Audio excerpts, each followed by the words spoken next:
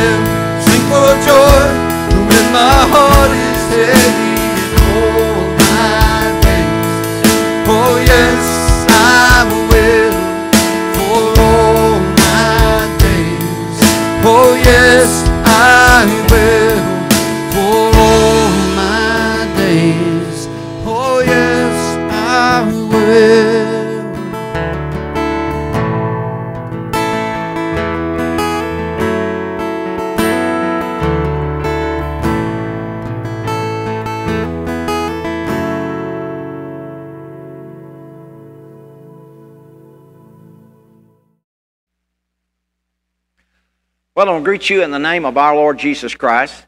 And today I want to encourage you that God is our deliverer. I'd like for you, if you have your Bible, turn to Deuteronomy chapter 31 and verse 6. God says, Be strong and courageous. Don't be afraid or terrified because of them, for the Lord your God goes with you. He will never leave you nor forsake you. You know, it's a tremendous blessing that we can always find encouragement from the Word of God. And as we look to this scripture today, in, in the chapter 31 of Deuteronomy, we find that three times God uses the phrase to be strong and courageous. Then God repeats that phrase in Joshua chapter 1 as he uh, instills in Joshua the ability to become a leader. Now, anytime the Bible uh, or God repeats himself more than twice, we know it's important. So it's very important for us today to take uh, heart from the message that we need to be strong and courageous. Now, in chapter 31, Moses is coming to the end of his life. And he realizes that we need to be strong and courageous. You know, God tells us that He wants us to be strong and full of courage. He doesn't want us to be filled with fear about the things that are taking place in the world about us. Uh, God is a reason. God's the reason why we can be strong. Uh, he never leaves us, and He will never forsake us.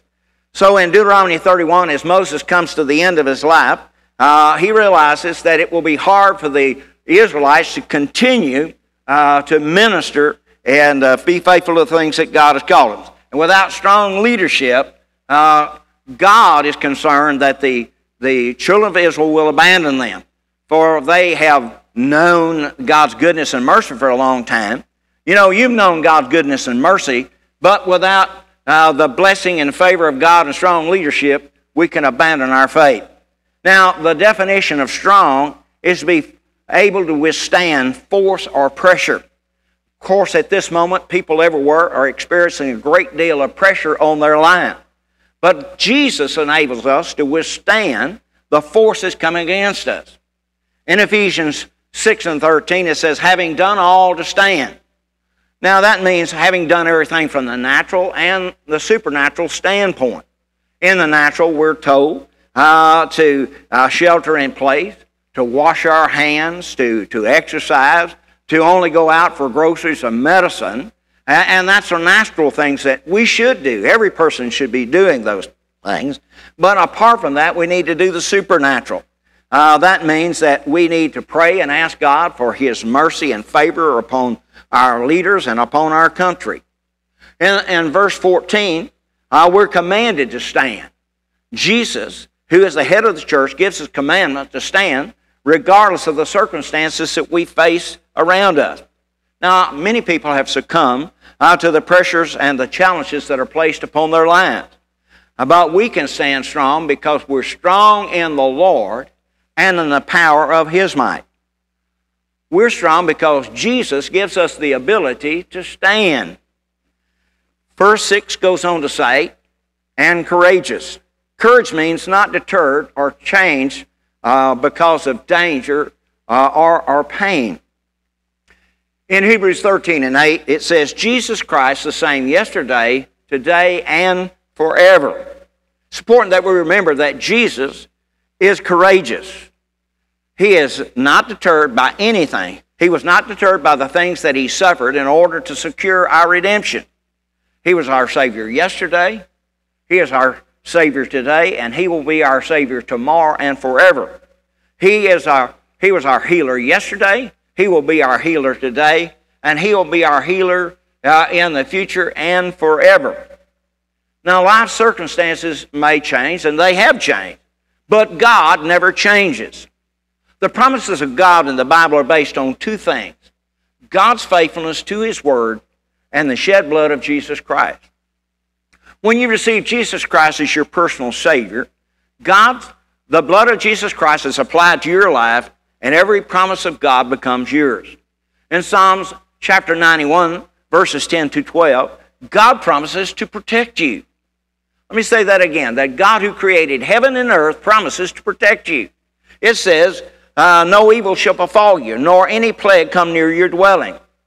Well, we're currently facing a, a dilemma of sickness that could be called a plague, but God says He will protect you from it.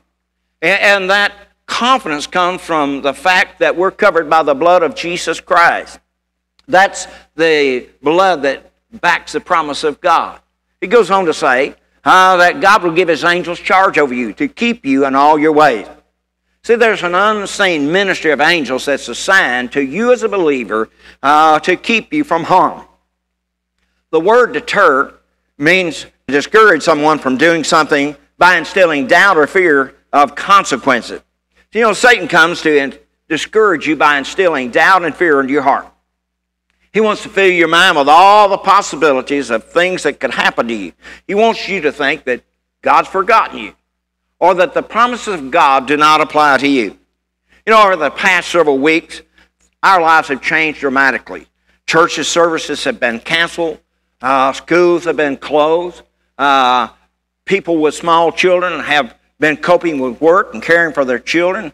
Some people are laid off, and we could continue to list a number of challenges that people are facing in their life right now. And these are these things are real. They're really happening to people. and They're difficult to deal with.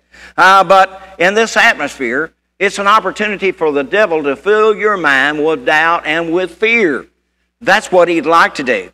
And if you dwell on those things, if you think on them constantly, those things could overwhelm you. Uh, and, and that's exactly what he wants to do, is overwhelm you with fear and doubt. You know, it's important that at this moment that we uh, think about the Word of God. Even though everything may be coming uh, crashing down in our lap, as we think of the Word of God, the promise that God has made to His children, we find strength and encouragement. In Romans 8 and 28, it says, And we know all things work together for good to them that love God, to them who are called according to His purpose. Now, that doesn't mean that everything that's happening in your life or happening around you is the will of God. And let me say that again. Everything that may be happening to your family or to your neighbors or to the business that you work for or your business is not the will of God. But if we will pray, then God can cause even negative things uh, to turn out for our good. Now, you maybe if you become sick, remember this: God is your healer; He's able to heal you. If your job, you should lose your job, realize that God is able to make all grace to abound towards you, that God can open a door of blessing and opportunity uh, in your life. So, so you shouldn't be filled with fear. God's word says this God is able to do exceedingly and abundantly above all we could ask or think, according to the power that works in us. To him be glory in the church by Christ Jesus to all generations, forever and ever. Of course, today we know there are a number of generations. There's the builder generation. There's a, there is uh, the boomer generation. There's the millennial generation. There's generations X, generation Y. There are all uh, number, any number of generations on the earth. But the promises of God are the same to every generation. It says forever and ever. That, that's eternal. That God's an eternal God. His promises are for eternity. Now that is found in Ephesians chapter 3, verses 20 through 21. So we need to focus our attention uh, on what God can do. And don't spend all your time worrying or brooding over what might happen in your life. Focus on the promises of God. Put your attention on the things that the Word encourages us to think about, about in Philippians 4 and 8. I like what the message uh, translation has to say. It's summing it up, friends. I'd say to you, do your best by filling your minds and meditating on things that are true, noble, the best, not the worst, the beautiful, not the ugly, things to praise, not things to curse. Put in practice what you've learned from me, what you've heard and saw and realized. Do that, and God, who makes everything work together, will work you into his most excellent blessings and favor. Romans 8:31 says this, "What shall we say then to these things?" Well, how will we answer the challenges that we face to life? Like this, if God is for us, who or what can be against us? The word says we're overcomers, we're conquerors. And so we overcome by the blood of the Lamb, that's Jesus Christ, and by the word of our testimony. Our testimony should be what God's Word says about us. Remember this when the Israelites left Egypt, there was not one feeble one among them. And God fed and kept them well for 40 years in the wilderness. That was the Old Covenant. That's the Old Testament and, and the blessings and promises God made uh, to Abraham and his descendants. But we live under a much better common, uh, covenant that is backed by better promises and backed by the blood of Jesus Christ. See, God is for you. He, he wants to help you. He's for you as a believer, but He's also for the sinner. Romans 5 and 8 says this But God commended His love toward us in that while we were yet sinners, Christ died for us. See, God wants to give you a hope and a future. That all begins with receiving Jesus Christ as your Savior. Romans chapter 10, verses 9 and 10, it says this That if thou should confess with thy mouth the Lord Jesus, and believe in your heart that God raised him from the dead, you will be saved. For with the heart man believeth unto righteousness, and with the mouth confession is made unto salvation. You'd like to receive Jesus Christ as your personal Lord and Savior, pray this prayer with me. Father, I come to you in the name of Jesus. I believe that Jesus suffered and died for my sin. I believe you raised him from the dead for my justification. I now receive him as my Savior. I believe you answer my prayer for salvation. In Jesus' name, amen. Now, if you prayed that prayer from your heart, then you're a child of God, and every promise of God belongs to you. 2 Peter 1 4 says this, whereby are given to us exceeding great and precious promises, that by these we might be partakers of the divine nature, having escaped the corruption that is in this world through love. Well, if you've received Jesus as your personal Lord and Savior, we'd love to hear from you. Uh, you can uh, contact us by mail, Believers Worship Center, Post Office Box 326, Benton 71006 is zip code. Or you can drop us a, a, an email, Believers Worship Center at bellsouth.net. To the members of our church, I know that you're praying, and I would like to invite you to a special time of prayer this Wednesday evening at 6 p.m. You need to pray for our country, for our leaders, for medical workers, for the members of our church, and for an end to this virus. Again, at your home this Wednesday evening at 6, join us for a time of prayer, blessing and favor of God to bring an end to this virus. The members of our church, if you'd like to mail your tithes or offering, you can do so by sending it to the church, Post Office Box 326, Benton, Louisiana 71006. May God continue to bless and keep you safe It's our prayer.